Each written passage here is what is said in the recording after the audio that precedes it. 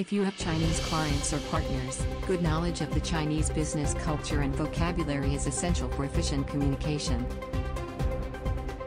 Yi Mandarin, a language school in Singapore, launched its updated business Chinese course.